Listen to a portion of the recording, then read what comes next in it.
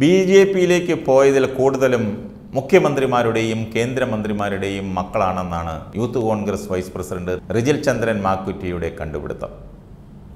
മണ്ണിൽ പണിയെടുക്കുന്നവന്റെ നെഞ്ചത്ത് ചവിട്ടിയാണ് നേതാക്കളുടെ മക്കളെ ഉയർത്തിക്കൊണ്ടുവരുന്നതെന്നും റിജിൽ മാക്കുറ്റി ഫേസ്ബുക്കിൽ പങ്കുവച്ച കുറിപ്പിൽ പറയുന്നു.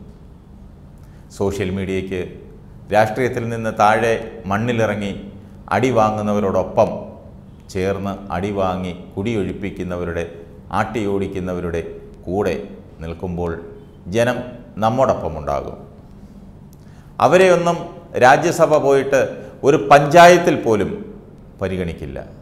അത്തരക്കാരെ കാണാൻ ഒരു എ ഐ സി സിയും ഉണ്ടാകില്ല. അതാണ് ഈ പ്രസ്ഥാനം ഈ നിലയിൽ ഇപ്പോൾ എത്തിയത്. ഷോ രാഷ്ട്രീയത്തിന്റെ കാലം കഴിഞ്ഞു. നേതാക്കന്മാരെ ഡൽഹിയിൽ പോയി കണ്ട് കാര്യം നേടുന്നത് അവസാനിപ്പിക്കാതെ ഈ പാർട്ടി രക്ഷപ്പെടില്ല. അനർഹരെ പരിഗണിക്കുമ്പോഴാണ് അർഹരും അങ്ങനെ പോകാൻ നിർബന്ധിതരാകുന്നത്. കഴിഞ്ഞ നിയമസഭാ തെരഞ്ഞെടുപ്പിൽ. എന്റെ പേരും സജീവമായിരുന്നു. അവസാന നിമിഷം എന്നെ സ്നേഹിക്കുന്ന പല സുഹൃത്തുക്കളും എന്നോട് ഡൽഹിയിൽ പോകാൻ പറഞ്ഞിരുന്നു. അവസാന നിമിഷം എന്റെ ഒരു സഹപ്രവർത്തകനെ തോക്കുന്ന സീറ്റിൽ വെട്ടിയപ്പോൾ എന്നോട് പറഞ്ഞു ഞാൻ പോകുന്നു ഡൽഹിക്കെന്ന് നിങ്ങൾ വരുന്നോ? ഞാൻ പറഞ്ഞു ഇല്ല നിങ്ങൾ പോയി വാ. അതുകൊണ്ട് അദ്ദേഹത്തിന് സീറ്റ് കിട്ടി. അന്ന് ഞാൻ അവരോട് പറഞ്ഞത് എനിക്ക് അർഹതയുണ്ടെങ്കിൽ ഇവിടെയുള്ള നേതൃത്വം എന്നെ പരിഗണിക്കും. ഡൽഹിയിലിരിക്കുന്നവർക്ക് എന്നെക്കുറിച്ച് എന്തറിയാനാണ്? അവരുടെ മാനദണ്ഡത്തിനനുസരിച്ച് അർഹതയില്ലാത്തതുകൊണ്ട് എന്നെ പരിഗണിച്ചില്ല. അതുകൊണ്ട് ഈ പാർട്ടിയെ തള്ളിപ്പറയാനോ അക്കരപ്പച്ച തേടി കെ പി അനിൽകുമാറാകാനോ പി എസ് പ്രശാന്ത് ആകാനോ ഞാൻ തയ്യാറായില്ലെന്നും റിജിൽ പറയുന്നു. അവരൊക്കെ ഈ പ്രസ്ഥാനം കൊണ്ട് എല്ലാം നേടിയവരാണ്. പഴയതിനേക്കാൾ ഊർജത്തോടെ ഈ പ്രസ്ഥാനത്തിന് വേണ്ടി തെരുവിൽ കിടന്ന് പോരാടാൻ മുന്നിൽ തന്നെയുണ്ട്. ആക്രമിക്കപ്പെടും എന്ന് അറിഞ്ഞുകൊണ്ട് തന്നെയാണ് ശത്രുക്കളോട് പോരാടാൻ മുന്നിലേക്ക് പോയത്. കൂടെയുള്ളവനെ ശത്രുക്കളുടെയോ പോലീസിന്റെയോ മുന്നിൽ തള്ളിവിട്ട് അവർക്ക് പരിക്ക് പറ്റി ആശുപത്രിയിൽ പോയി ഫോട്ടോ എടുത്തും അവർക്ക് വേണ്ടി ചാനൽ ചർച്ചകളിൽ പോയി വാദമുഖങ്ങൾ ഉന്നയിക്കുന്ന രാഷ്ട്രീയം പഠിച്ചിട്ടില്ല. ഇനിയും അങ്ങനെ തന്നെ പോരാടുമെന്നും അദ്ദേഹം കൂട്ടിച്ചേർത്തു.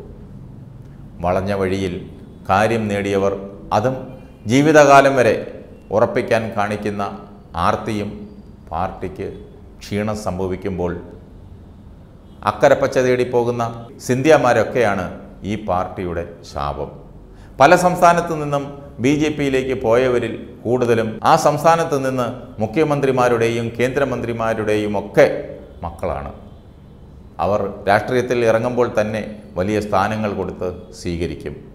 മണ്ണിൽ പണിയെടുക്കുന്നവന്റെ നെഞ്ചത്ത് ചവിട്ടിയാണ് അവരെ ഉയർത്തിക്കൊണ്ടുവരിക. അവരാണ് പാർട്ടിയെ ചതിച്ചു പോയവരിൽ ഭൂരിഭാഗവും. ത്യാഗം സഹിച്ച് കഷ്ടപ്പെട്ട് പണിയെടുക്കുന്നവർ ഇന്നും ഇവിടെ തന്നെ നിൽക്കുന്നത് കൊണ്ടാണ് ഈ പാർട്ടി ഇപ്പോഴും പിടിച്ചു നിൽക്കുന്നത്. പാർട്ടി അധികാരത്തിൽ വരുമ്പോൾ മന്ത്രിമാരാകാൻ വലിയ സുപ്രീം കോടതി വക്കീലന്മാർ ഉന്നത ജോലിയിൽ നിന്ന് വിരമിച്ചവർ ഒരു പട തന്നെ ഉണ്ടാകും. അവർക്ക് ജോലി ചെയ്തതിന്റെ കോടികളുടെ ആസ്തി ഉണ്ടാകും. പത്ത് പേരുടെ പിന്തുണ ഇല്ലാത്തവരാണ് ഭൂരിഭാഗവും. പാർട്ടിയുടെ പ്രതിസന്ധി കാലത്ത് അവരെയൊന്നും എവിടെയും കാണുകയുമില്ല. പ്രവർത്തനത്തിലും നിലപാട് എന്തെന്ന് കാണിക്കണം. അത്തരം നിലപാട് എടുക്കുമ്പോൾ ചിലപ്പോൾ പാർട്ടിയിൽ നിന്ന് തന്നെ പുറത്താക്കപ്പെടാം അപമാനിക്കപ്പെടാം വ്യക്തിഹത്യയ്ക്ക് ഇരയാക്കേണ്ടി വരാം. ഒറ്റപ്പെടുത്താം കൂടെയുള്ളവർ തള്ളിപ്പറയാം സൈബർ ആക്രമണത്തിന് വിധേയരാകാം. പക്ഷേ നിലപാടിൽ ഉറച്ചു നിന്നാൽ എത്ര വർഷം കഴിഞ്ഞാലും പ്രസ്ഥാനത്ത് നിന്നും മാറ്റി നിർത്താൻ കഴിയില്ല. അനുഭവമാണ് സാക്ഷ്യം.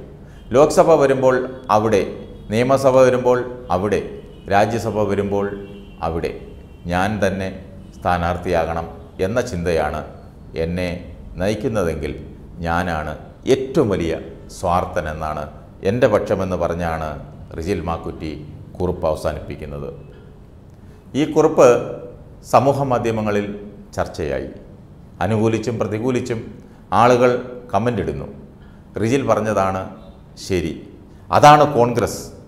കമ്മ്യൂണിസ്റ്റ് പാർട്ടികളിൽ ഇങ്ങനെയൊന്നും നടക്കില്ല. അവിടെ അർഹതപ്പെട്ടവന് അംഗീകാരം നൽകും.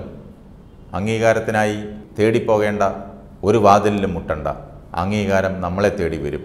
രാജ്യസഭയായാലും ലോക്സഭയായാലും നിയമസഭയായാലും സ്ഥാനാർത്ഥിയെ തീരുമാനിക്കാൻ കമ്മ്യൂണിസ്റ്റ് പാർട്ടികൾക്ക് ഒരു മിനിറ്റ് മതി. ഏതായാലും റിജിൽ ഇനിയും അവഗണന പേറി കോൺഗ്രസിൽ നിൽക്കുന്നതിൽ അർത്ഥമില്ല. അനിൽകുമാറിന്റെയും പ്രശാന്തിന്റെയും വഴി ഒന്ന് നോക്കിയാലോ? ആലോചിക്കുക